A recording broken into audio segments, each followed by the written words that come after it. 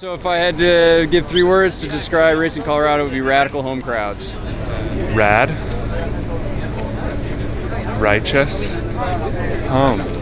It's awesome to be in front of um, you know our, our, home crowds in our home country racing. We don't get to do it very often, and um, just to have the opportunity to race on familiar roads. Uh, I'm not from Colorado, but I did live here nine years in Boulder, so um, I, I, know all these routes and I know the race really well and I know a lot of people here. My friends and family are out, so it's for me, it's one of the best experiences of the year.